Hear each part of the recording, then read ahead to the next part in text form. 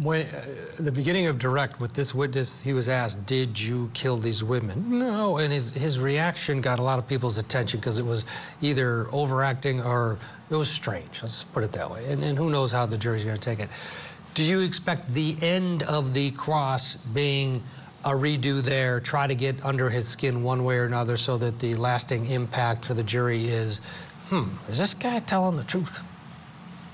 She doth protest too much, as Shakespeare said. Yes, I believe this guy looks like a stick of dynamite about to explode, right?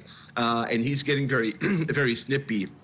So I, I'm I'm hoping my entertainment side is hoping that he explodes and we get some answers because I right now watching this trial I don't know if this defendant was the person who killed these uh, uh, these women. So I think he might explode. He does seem like he's about to explode. He looks like a gangster. I mean this is like if watching Breaking Bad uh, was extended for a seventh season and everybody got arrested and everybody survived and everybody started testifying this is what it would look like. Uh, you're not Ooh, wrong that it bad. feels like uh, almost movie characters because of the way that they're able to be so transparent about this side of their life, the gangs and the motorcycle clubs and the drug trafficking, but the murder is what we're here about. So it's fascinating to see it all unfold, this small town mystery.